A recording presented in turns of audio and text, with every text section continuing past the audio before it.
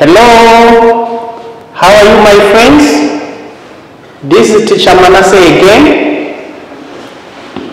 As usual, we are entertaining each other, but today it is in mathematics. That's where we are going to entertain each other in mathematics. We know how to count. Yes, we know. We can measure different things. Yes, we know.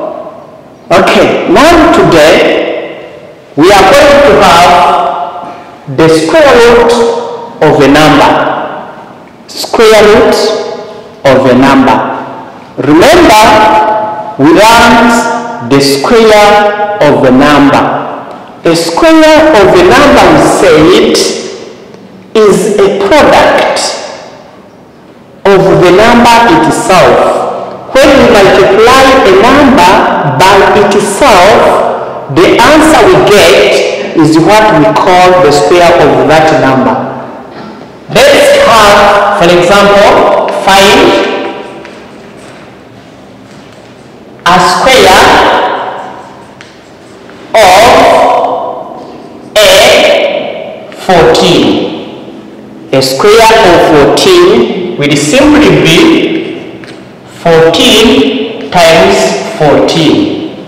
Mentally, we can even get this one. As we can multiply, we get 196. This is the square of 14. If we get B, we need the square of 20. This will be 20 times 20 and this is simply 400. A square of 20 is 400.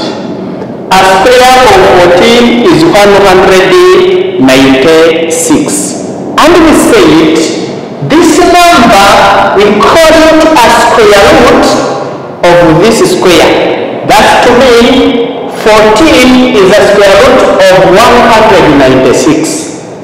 20 is a square root of 400.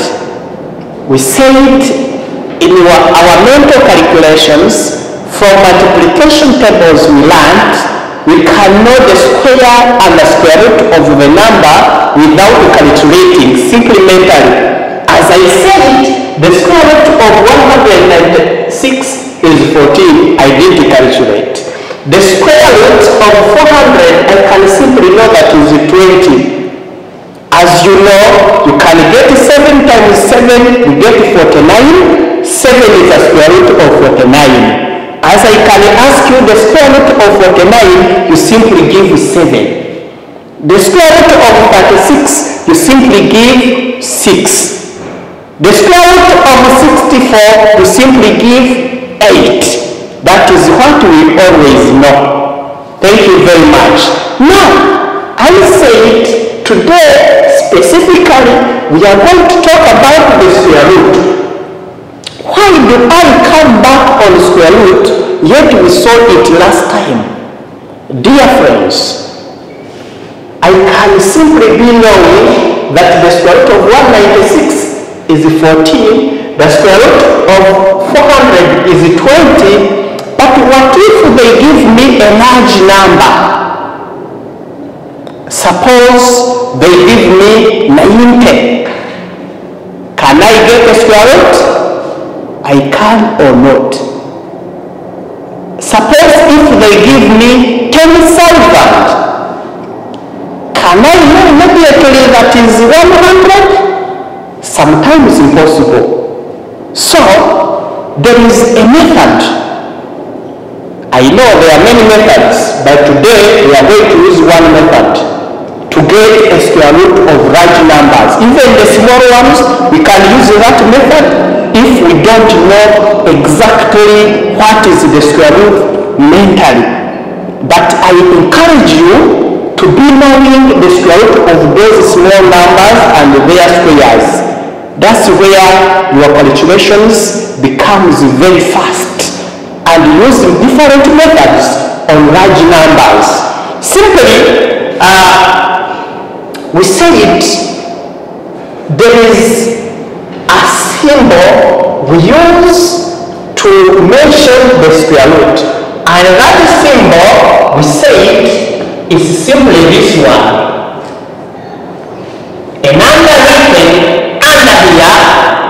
We need its square root. So, having an example here, you can be told now to find each one. As I said here, let me use 400, the square root of 400. Dear friends, we did not study a multiplication table of 400. Now, it cannot be easy for all of us to know that is 20, but we can use a method commonly known to determine the square root of numbers with an exact square root. That's to mean with no decimals, friends of mine. If I say exact square root, I mean a square root with no decimals. Now, this is an example we have. We are going to use prime factorization method as you already know it. Prime factorization method. We have our 400 here. As is a prime factorization method, we always use prime numbers. And we begin with the smallest prime number, which is 2. And we see whether it can divide 400. We write it here. 400 divided by 2, we simply get 200. Again, 2 can be used we get 100. Can we use again 2? Yes. We get 50. 2 can again be used. We get 25. Now, 2 cannot divide exactly 25. Yes, we can use it, but we get decimals.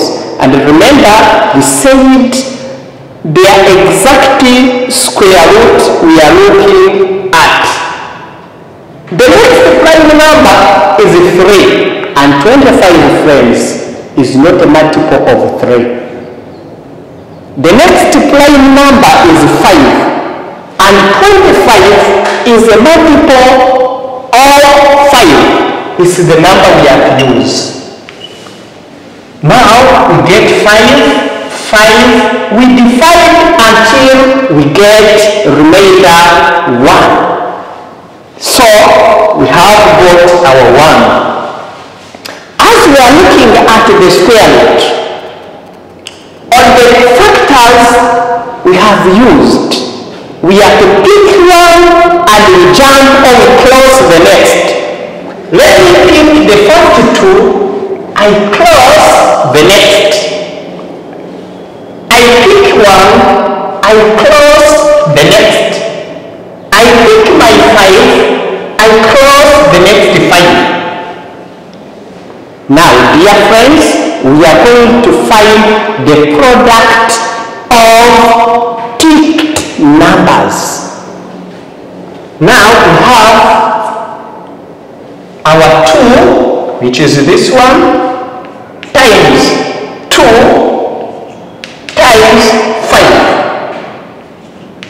Other numbers are closed. We neglect them as if they don't even exist. So we have 2 times 2, it's 4. 4 times 5, we get 20. Very good.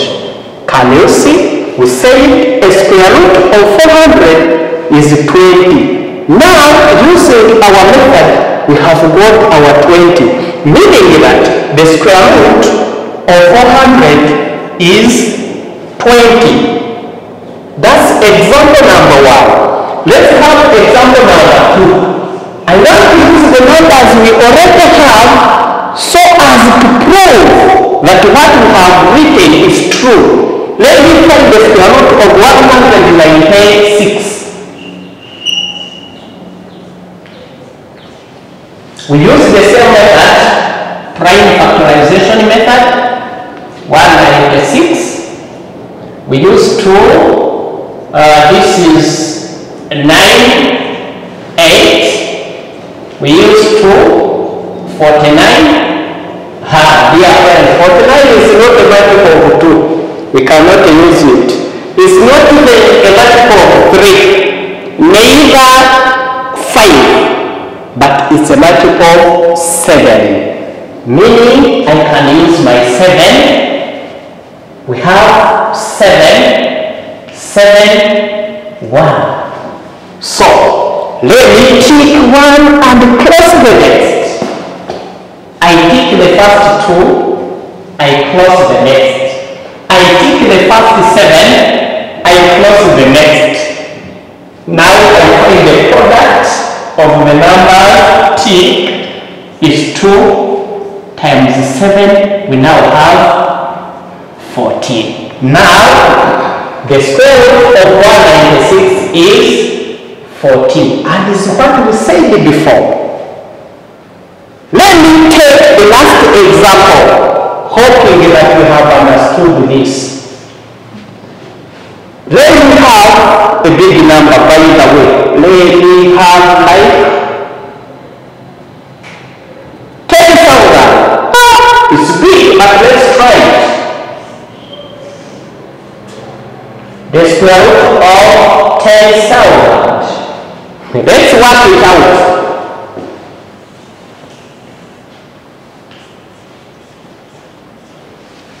So using 2, we get 5,000. Using 2, we get 2,500. Using 2, we get 1,250. Uh, we again use 2. We have 6. We have 2, 5. Dear friends, 2 cannot again work. Can we use 3 and 6? Is it a multiple of 3? 8, 13. Ah, it's not a multiple of 3. Let's now use 5. As you have the last figure as 5, this is a multiple of 5. Now let's divide. We have 1, we have 2, we have 5. Again by 5, we have 25. By 5, we have 5. By 5, we have 1 as a remainder. As we said, we are now to tick one and jump to the next. I tick, I close. I tick, I close. I tick, I close. Now I find the product. And our product will simply be 2 times 2 times 5 times 5. This is for 20, 100. Now, dear friends, the square root of 10,000 is 100. This is to mean that if we divide as 10,000 by 100, we get 100. If we get 100 multiplied by 100, we get 10,000. So, friends of mine, let me leave two or three numbers to work out for the next time. Your numbers.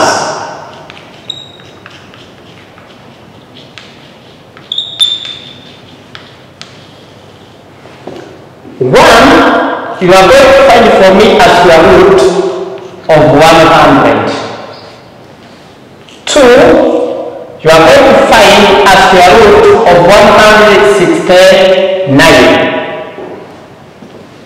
Three, a square root of 900. I thank you very much for your kind attention. See you next time. Bye bye.